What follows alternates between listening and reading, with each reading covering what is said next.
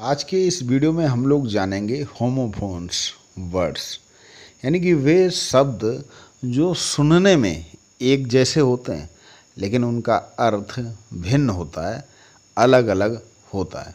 तो आइए कुछ शब्दों को हम जानते हैं जो होमोफोन्स हैं। जैसे कि राइट रस्म और राइट सही।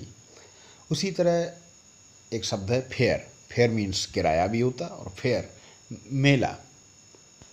वीक सप्ताह और वीक कमज़ोर। इसी तरह पीस शांति और पीस टुकड़ा।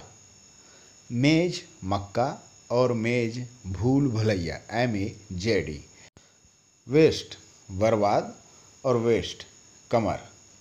इसी तरह वोकेशन, पेशा और वैकेशन, छुट्टियाँ। इसी तरह नॉट, नहीं, नॉट, गांठ।